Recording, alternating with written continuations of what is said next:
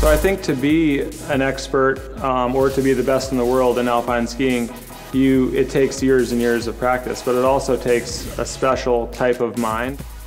You have to take risks somewhere. It's because to be the best, you have to win races. When there's something like that, there's no room for anything else. There was no room for failure, for what if I make a mistake.